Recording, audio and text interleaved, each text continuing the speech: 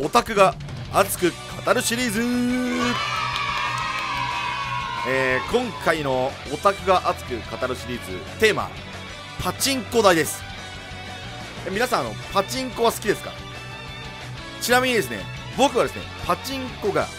きだった。あ人間でございまして、まあ、今はちょっと全然やってないやれてないんですけどもあの大学時代ですね主に。主に大学時代、まあ、大体の人生の夏休みと言われているこの時代にですね私あのパチンコに大ハマりしまして 学業に勤しまなければいけないこの大学時代にですねパチンコと麻雀にはまりまして本当あのろくでもない生活を送っていたんですがこの今回は僕愛してやまなかったパチンコ台ベスト3をですねあの発表していきたいと思いますので興味のある方だけ見ていただければと思います。またあの今回ラジオ動画なので、早速やっていきましょう。第3位。第3位はこちら。CR ガロ。懐かしい。あまりにも懐かしい、えー、導入は2008年の11月と、えー、なっております。この台にはね何度も命をね僕助けてもらったんですよ。命をね。本当あの文字通り命を助けてもらいました。生活費はこのガロで稼いでたと言っても過言ではありません。ガロっていうですねあの特撮の CG ドラマがあるんですけど、ま、こちらをねモチーフにしたあの機体でガロシリーズってこの台からすごい人気になってもう何台も出るんですけどこの後。これの初代のガロです、はい、でスペック説明しておきますと,、えーと、基本性能397.18分の1と。いうことで、まあ、いわゆるマックス台と言われている、まあ、めちゃくちゃ当たりにくい、えー、台ですね。でその代わりえーと、魔界チャンスっていう、まあ、確変状態みたいなのがあるんですけども魔界チャンスが入ったらえー、継続率82%っていうバケモンみたいな性能してるんですよ。要するにあのあ1回当たってもし魔界チャンスに入った場合82%の確率で当たり続けるっていうね。マジマジロマン。マジロマンだった。いわゆるマックス機のなんかその走りみたいなやつがまあこいつなんじゃないかなと思ってるんですけど本当にパチンコ業界にまあ革命を起こしたと言っていいでしょうこいつは。本当化け物、まあ、非常に当たりにくい上にですねこのあの突入率魔界チャンスっていう確変状態への突入率が50%しかないんですよ。要は確変状態になるかどうかに50%の抽選がまたあるんで397分の1の後にもう1回50%をくくり抜けるため、まあ、実質的に大当たりのその確変状態に入れる確率が800分の1っていうね超ギャンブル代800分の1ですよ。800分の1を引かないとあの確変状態に持っていけないっていうやばすぎる、えー、機体でした。でね、まあ、要するに当たり1回の重みが他の台と全然違うんですよ。このね397分の1を踏み越えてさらに50%の壁をさらに乗り越えた先に楽園が待っています。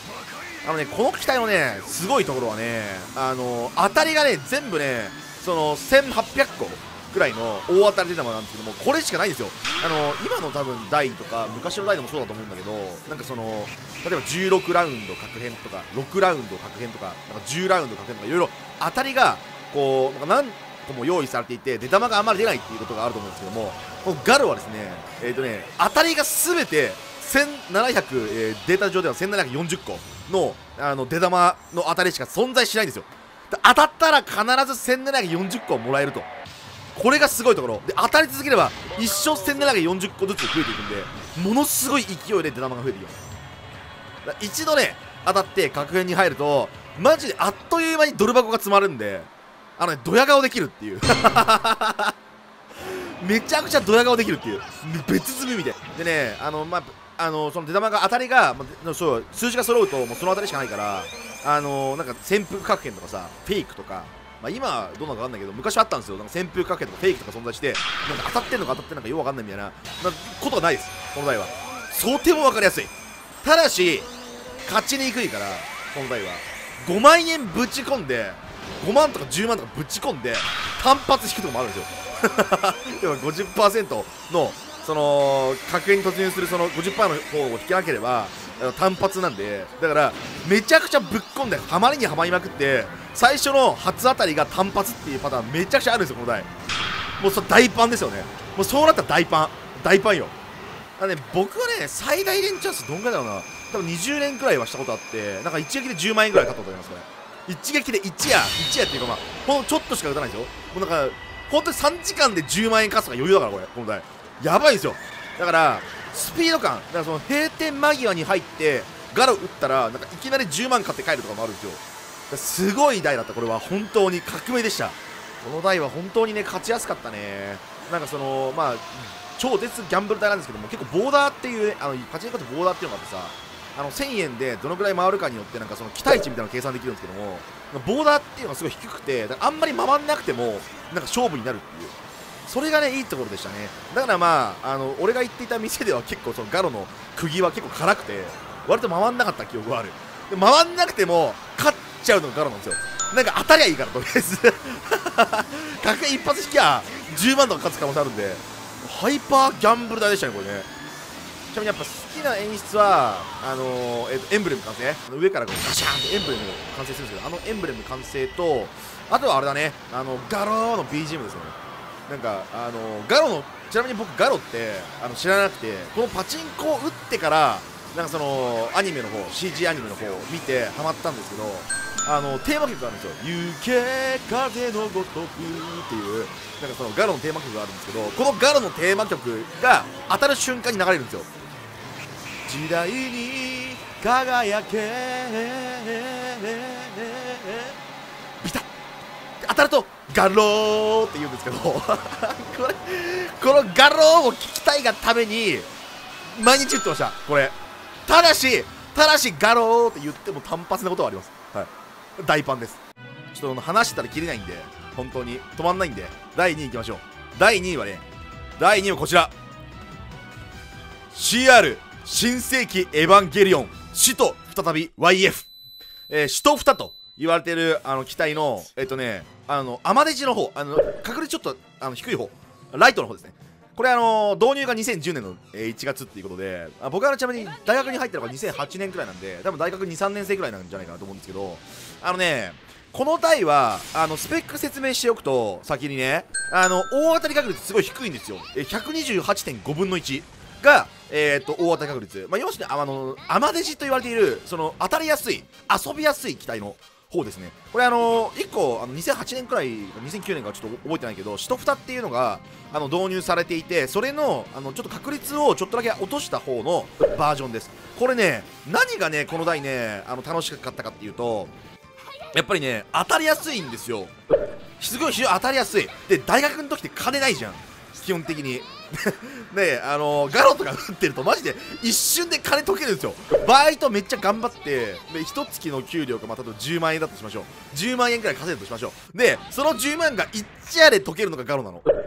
マジでめちゃくちゃ1ヶ月頑張ってでガロにぶっ込んだら1日で解けるっていうのがガロなんですよ。でもこのエヴァは、まあ、確率結構低いしそんなにめちゃくちゃ大ハマりするっていうこともないし、まあ、何かと当たってはくれるんでだからある程度遊ぶためにはねこいつがすごい一番ねちょうどよかったんですよね。で、えー、とこのシトフタの、えー、説明をしておくとえっ、ー、とね投資が少なくて済む代わりにあのあまりその当たった時の出玉があんまないっていうあんまりその出玉があんまりあの稼げないっていうそういう台でしたね。はい。であのー、こいつ確変継続率65%なんですけど結構ねあの時短引き戻しがあるんだよね。それがエヴァエヴァのいいところであの時短っていうのがその通常モードを引いちゃって確変じゃなかったとしても、まあ、あのなんだろうあの電柱サポートっていうのがあってあの球が減らないで打つことができる回転が100回転ぐらいあるんですよ。でその中でね結構エヴァって引き戻すんだよね。結構。ちなみにこの、えっとライトの方は確か40回転とか、あの時短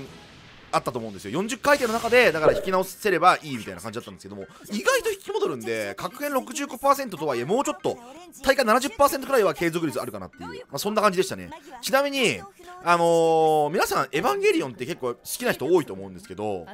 僕はねあのねこれパチンコでハマりました。エヴァンゲリオンは。そのパチンコ打つまではそんなに僕エヴァンゲリオン知らなくてよく分かってなかったんですけどもこの「死と再び」を打ってエヴァめっちゃおもろってなってアニメ見てハマっちゃったタイプですね。どっちかっていうと、まあ、逆の人も多いかもしれないですけども僕はパチンコを打ってからハマるパターンがすげえ多くてちなみにあのガロもそうなんですけどもガロもそうだしエヴァもそうなんですよ。パチンコ打ってであのエヴァにはまってであの旧劇場版とか漫画とかあと新劇場版全部見たっていう、まあ、そういうえー青年でしたね僕は。2008年くらいやったと思うんだよねあのエヴァンゲリオン新劇場版。あのジョですよね。ジョ8 9新のあの4作のうちのジョが2008年に公開されてで多分ねその影響もあって多分この台はかなり人気あったと思う。エヴァはね結構15万円とか20万とか勝つことはできないけどなんかコンスタントになんかちょっとずつ稼ぐことができるような堅実的ななんか台だったのかなと思いますね。で好きな演出好きな演出はねなんといってもね突発大当たりエヴァンゲリオンのね突発大当たりってめちゃくちゃびっくりするんですよあの他の台あるのか知らないんだけどあのね急に当たんのマジで急になんかドッキリみたいな、てってれーみたいな感じで、急に当たるんですよ。なんか、あの、初号機がいきなり現れて、で、画面を引き裂くと、急に当たるっていう。これしかも、どっからともなく飛んでくるんですよね。ガチで何の予告もなく、急に初号機が、あの、出てきて当たるっていうのが、めちゃくちゃ面白かったです。だから、いつ見てても、もしかしたら突発来るかもしれないっていうのがあるから、気が抜けないんですよ。それがこの台のいいところですね。あとは、やっぱりね、一発告知。インパクトフラッシュ。台のさ、上にさ、なんかパトランプみたいなのついてるじゃん。このパトランプみたいなのが鳴るんですよ。ビリビリビリビリビリビビビビビビビビビビってなるんですけど、このインパクトフラッシュが、マジで同時でブッシャー出るんですよね。それだけで、これだけで大当たりが確定します。マジでドヤ顔不可避。他にもね、あのエヴァ恒例の熱い演出、霊背景とか、まあ、軍予告とか、金枠とか、あのステップアップね、とか、あと次回予告とか好きな演出はいっぱいありましたけど、まあ、強いて言うならやっぱりインパクトフラッシュと突発大当たりっていう演出がめちゃくちゃ好きだった俺は。さあラスト第1位。いきましょう。第1位はこちら。